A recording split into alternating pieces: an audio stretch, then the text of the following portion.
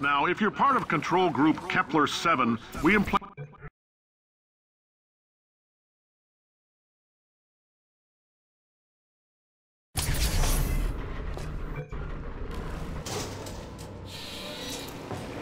Now, if you're part of control group Kepler 7, we implanted a tiny microchip about the size of a postcard into your skull. Most likely you've forgotten it's even there. But if it starts vibrating and beeping during this next test.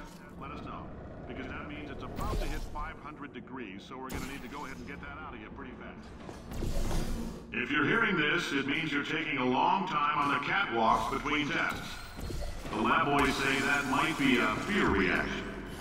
I'm no psychiatrist, but coming from a bunch of eggheads who wouldn't recognize the thrill of danger...